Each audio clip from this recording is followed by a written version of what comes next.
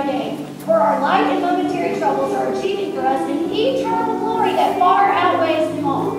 So we fix our eyes not on what's seen, but what, on what is unseen, since what is seen is temporary, but what is unseen is eternal. And we fill our mind with truth. What happens with that is we get to have abundant